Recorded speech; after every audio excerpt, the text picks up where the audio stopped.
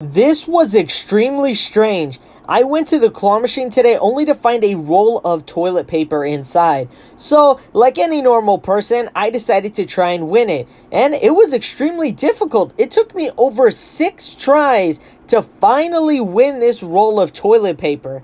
But the real question is, what am I gonna do with this extremely expensive claw machine toilet paper? But